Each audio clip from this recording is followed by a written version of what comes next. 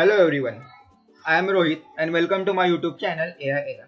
So guys in this particular video I am going to create a classification machine learning model that will predict a wine quality. So before moving towards our Jupyter notebook, I would like to tell you that I am created a videos on pandas library as well as on numpy library. So if you want to learn a data science or in future if you want to become data science then start with both this library will give you initial confidence. So it's my humble request to you to please access those library and subscribe my YouTube channel that is AI Era and press this bell icon and never miss an any update. So the main motto of today's video is to create a machine learning model that will predict a wine quality. Therefore, we require a wine quality dataset. As from previous video, we download our dataset from Kaggle website in the in this video we also download our dataset from same website such as Kaggle.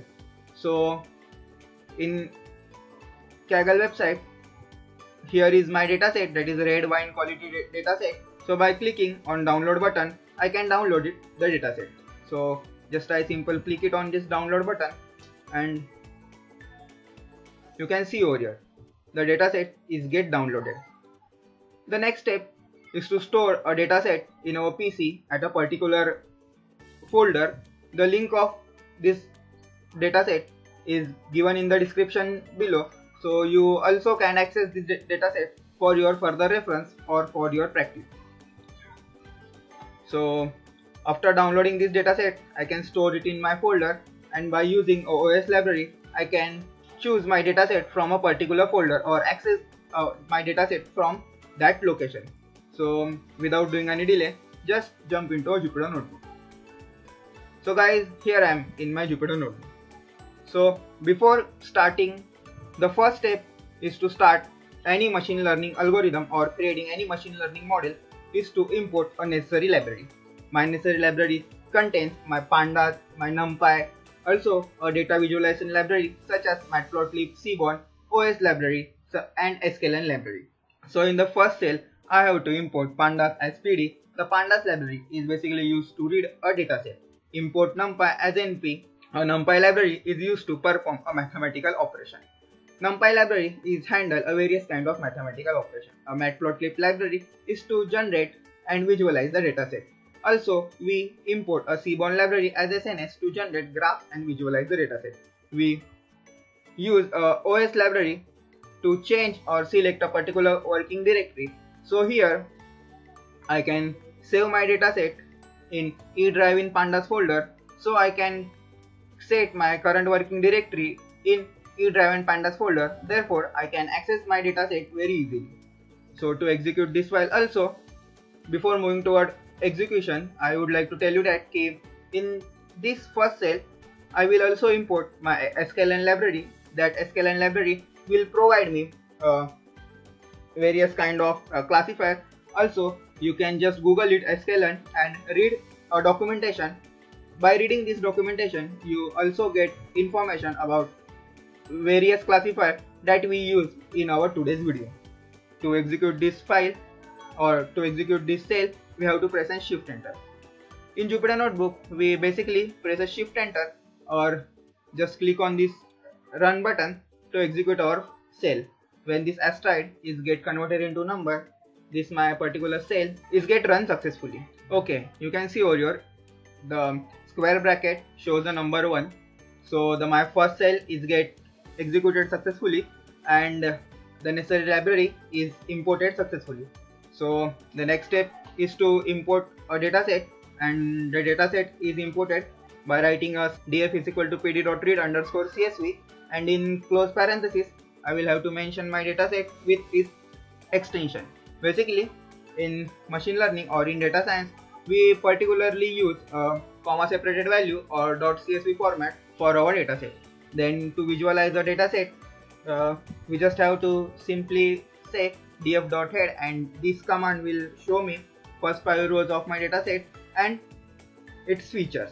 So I can execute this cell. So you can see over here it will give me a first five rows and the feature. After that, I can print the information of my dataset So total 12 features are present in my dataset and all features are non-null means um, no missing value are present in my dataset. Also it contains total 1599 entries means total 1599 rows contains my dataset and the memory uses my dataset is the 150 KB.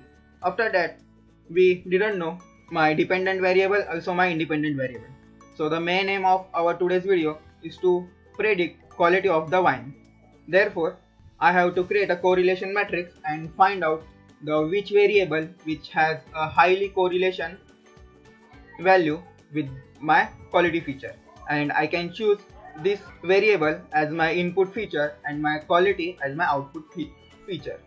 So to find correlation between variables I can simply have to write a code df.core uh, df.correlation and close close parenthesis after that I have to simply write t that will convert our correlation matrix into transpose matrix. And believe me guys this when we convert our matrix into transpose matrix this matrix is a readable as compared to without transpose matrix. So it is very good practice to convert our matrix into transpose matrix. Particularly this note is applicable very much applicable when we create a correlation matrix. For execution this cell i have to just press and shift enter. It shows me my feature and the correlation of my variable in the in this matrix. So first of all the alcohol which shows a large correlation with my quality input feature uh, sorry my quality output feature that is 0.46 0.476 after that sulfate shows 0.25 and after that my citric acid which shows a 0.02263 so after that we have to define our variable.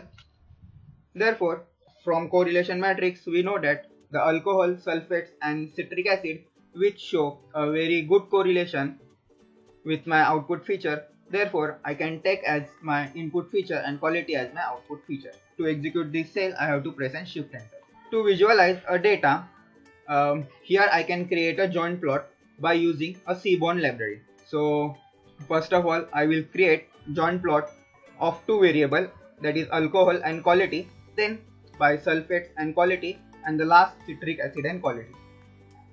To just visualize our data we create this graph. To execute this cell I have to press and shift enter.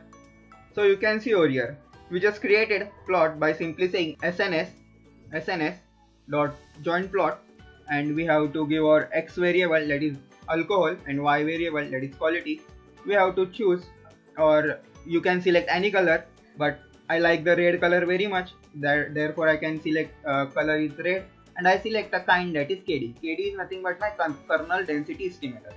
So you can see over here in alcohol it will shows and uh, uh, and in y-axis it will shows a quality at a point over here it shows a phi number so I can say that at a, a quality of phi and an alcohol uh, in between ranges in between 9 to 10 it will have a large amount of data set so as same as we can create a joint plot and the kind is a kernel density estimator we can create a joint plot of sulfate and quality. And last one is citric acid and quality. So after data visualization you can see over here it will shows me a density of largely populated point. Uh, so you can visualize over here the maximum point are in between 9 to 10 range of alcohol and at a at and at in quality it lies between 5 to 6 as same as you can read the next two graph that is sulfate and quality as well as citric acid and quality. So the next is create a classifier.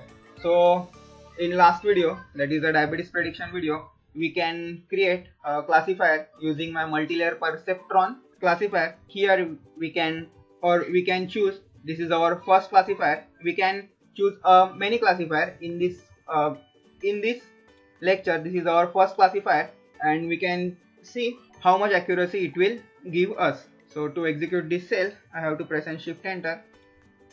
I, I simply import my MLP classifier from sklearn.neural network import MLP classifier and I can initiate my classifier uh, and save in the variable called CLF. And I can mention my hidden layer size that is 100 and I can uh, mention my activation is logistic. I can use a logistic activation function because I have to classify between various classes. And logistic function give me a binary output that is 0 or either 1 so therefore I can use the activation function such as logistic after that I have to feed the dataset by simply saying clf.feed that is x and y where x is my variable. You can see over here and y is my variable that is quality.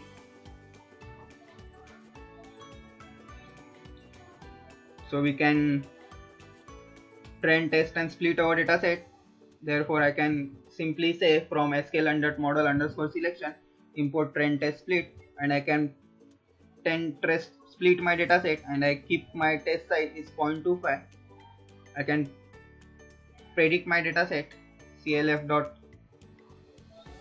predict and uh, in close parenthesis extend and I can save it in my variable called y predict. After that I have to check my accuracy score. Okay so MLP multi-layer perceptron classifier will give me uh, class accuracy of around 55% and next is to create a classification report. Okay so so we can conclude that by uh, seeing that accuracy score and classification report.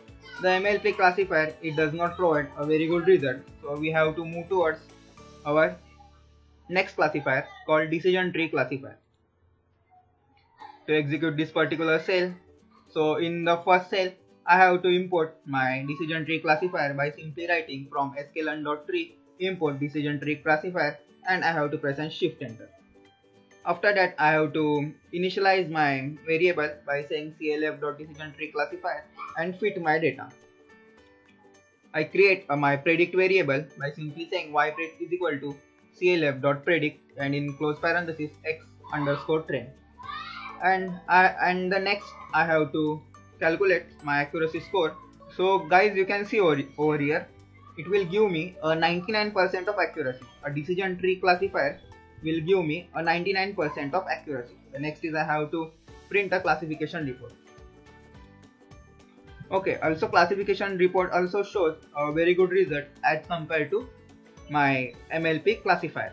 The next is select uh, ne nearest neighbor classifier. So by same method, I have to import my KNN or nearest neighbor classifier by simply typing from sklearn.neighbors import k neighbors classifier for import or to execute this cell I have to press and shift. Then I have to import or initialize my classifier by simply saying clf.k neighbors classifier and I have to choose a hyperparameter such as number of neighbors is equal to 24. So here I can select a total number of neighbors that is 24 and I, and I can fit my dataset. After fitting my dataset, I have to generate a y predict and after that I have to check my accuracy. KNN algorithm or KNN model give me accuracy around a 61% or 60.96% and the next is a support vector classifier. So from a sklearn.svm import a support vector classifier. To importing or to execute this cell I have to press and shift enter. After that I have to fit my data and initialize my classifier after initializing and fitting my data, I have to create my prediction variable that is yPredict by simply saying clf.predict and in close parenthesis, I have to give an a value of x train. And after that, I can simply print accuracy score. And accuracy score it will give me around a 0.56 oh it's very poor. It's closely to our the mlp classifier. From our three classifier the only decision tree will give us highest result that is highest accuracy score that is 0.99% and the last and the second last is my SGD classifier that is stochastic gradient descent classifier.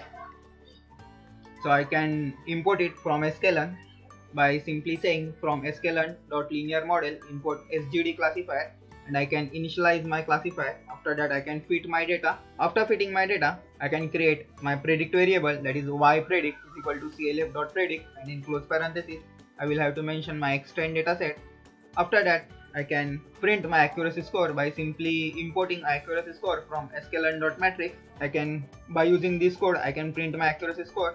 So very poor very poor. It will give me only 0.46 so you can see guys up till now our decision tree is on top of as compared to uh, as in the rank of accuracy score. Decision tree algorithm or my decision tree classifier will give me 99% uh, of accuracy and no other than classifier will go on above the 60% and the last classifier that we use in this today's video is known as random forest classifier.